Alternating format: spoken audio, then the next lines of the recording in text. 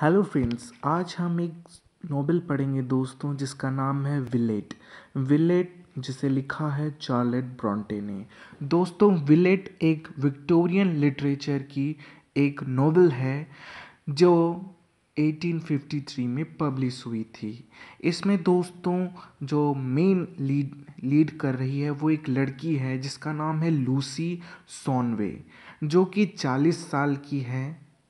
और ये अभी चालीस साल की हो गई है और काफ़ी उदास है क्योंकि इनका लवर मर चुका है और ये अपनी ज़िंदगी एकांत में बिता रही है।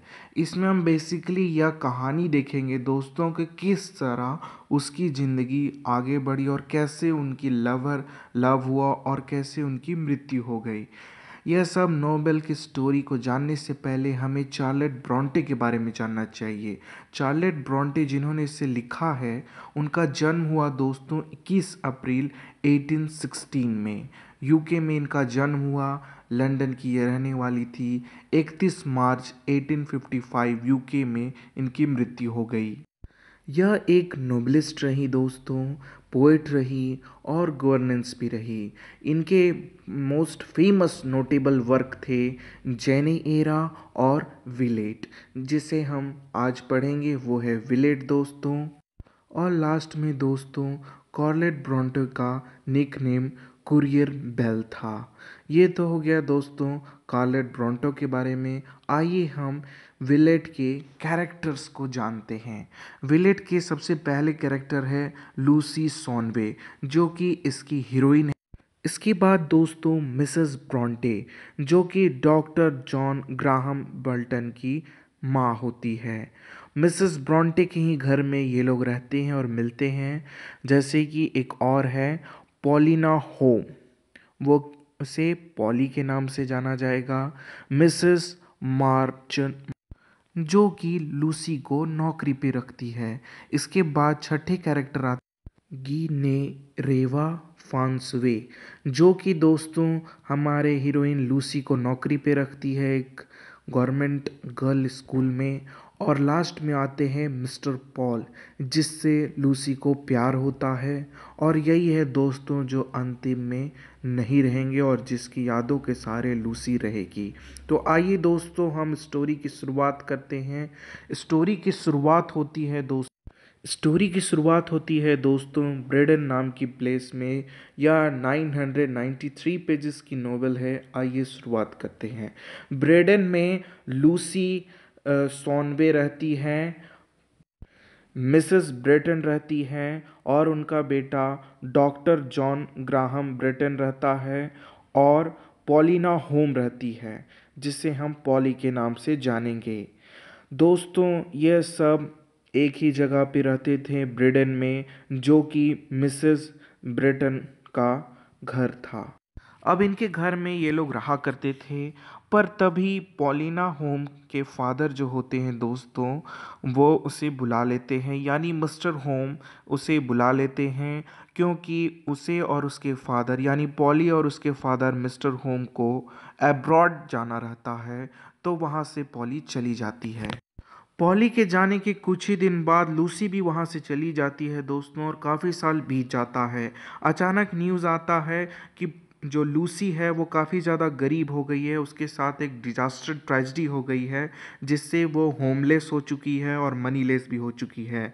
इसके बाद एंट्री होती है मिस मर्च मॉन्ट की, जो कि उसे एक जॉब देती है, पर वो उस जॉब से इरिटेट होने लगती है दोस्तों, क्योंकि वो जो लेडी होती है, वो हैंडीकैम्प होती है और वो शाम को बैठ कर के तीस साल पुराने अपने लवर की कहानी बताते रहती है वो बूढ़ी औरत और वो उसे सुन सुन कर पक जाती है, पर उसका काम होता है उसका केयर टेक करना, इसलिए वो लूसी सुनती रहती है। पर एक दिन खबर आती है, जब लूसी गार्डन में होती है कि मिस मर्चमॉन्ट नहीं रही।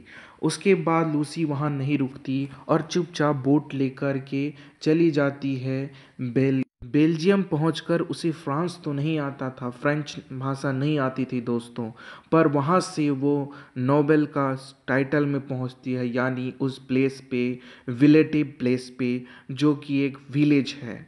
वहाँ पे वो मैडम बेक से मिलती है, जो कि एक इंग्लिश गर्ल्स स्कूल चलाई करती थी। वहाँ पे लूसी को एक टीचर एज ए अपॉइंट कर लिया जाता है और वो वहाँ पे रहने लगती है अब आगे होता ये है दोस्तों कि जब मैडम बिग लूसी को teacher as a English tutor काम दे देती है, तब उसे पता चलता है कि उसे जो कॉलेज दिया गया गर्ल्स कॉलेज, उसमें एक गर्ल है जिसका नाम है गेनेवा फासवे। अभी जो गेनेवा फासवे होती है दोस्तों, यह प्यार में पड़ जाती है डॉक्टर जॉन के।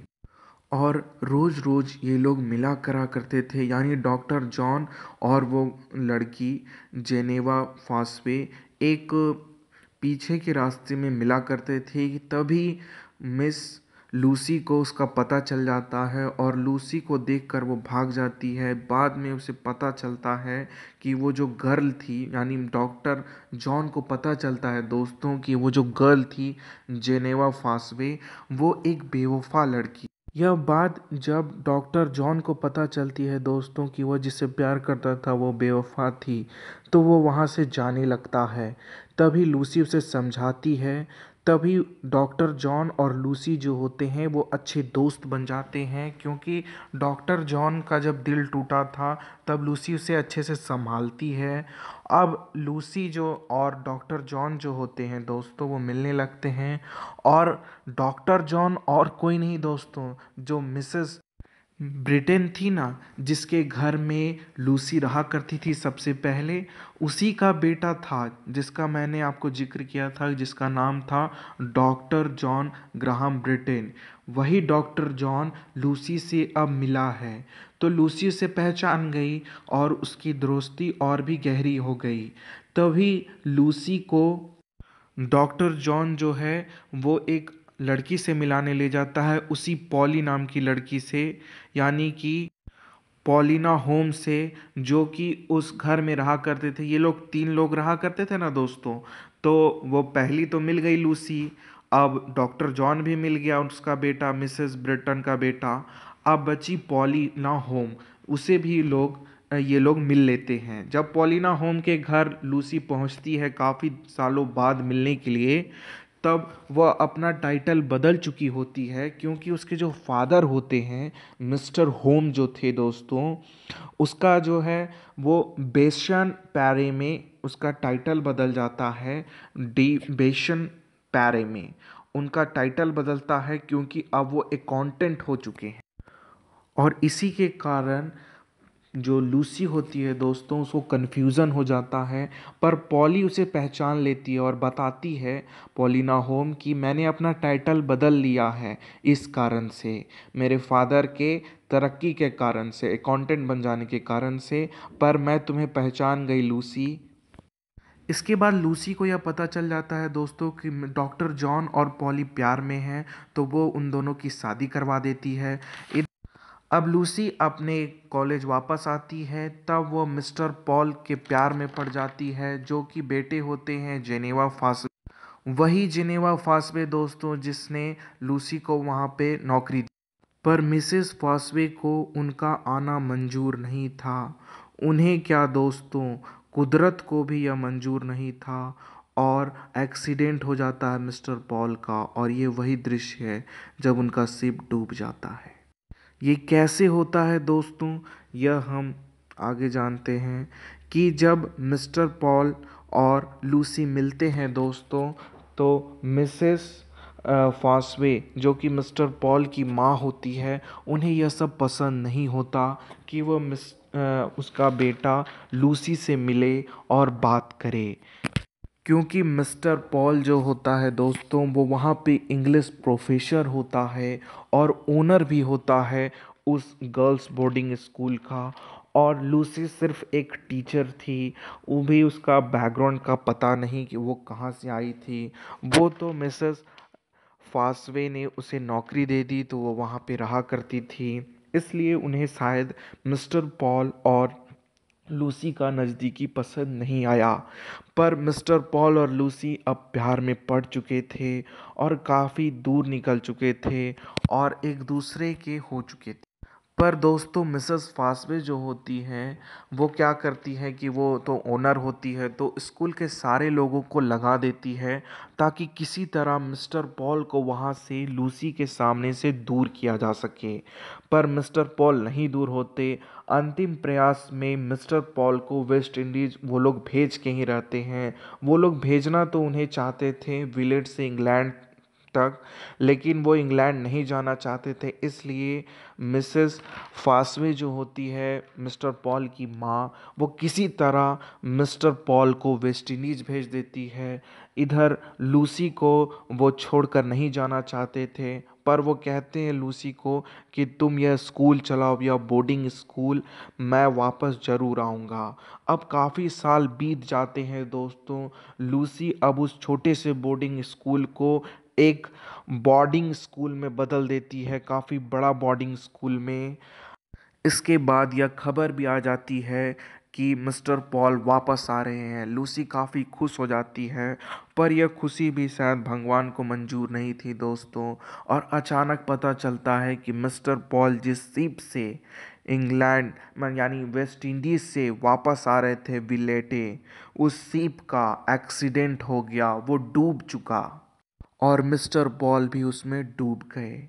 अंतिम में बस यही दिखाया जाता है दोस्तों कि इसकी एक हैप्पी एंडिंग हुई है और जो मिस लूसी जो है, वो याद कर रही है अपने लवर को। और अंतिम में इस नोवेल की राइटर ब्रॉन्टे ने लिखा है दोस्तों कि इसे टेम्पेस्ट के, यानी विलियम शेक्सपियर के टेम्पेस्ट के एरियल ने खा लिया उस सीप को।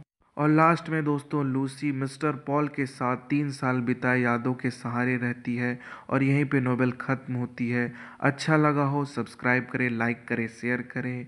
थैंक यू दोस्तों, आपने मुझे सुना। मैं आपसे मिलूँगा नेक्स्ट स्टोरी में। तब तक के लिए बाय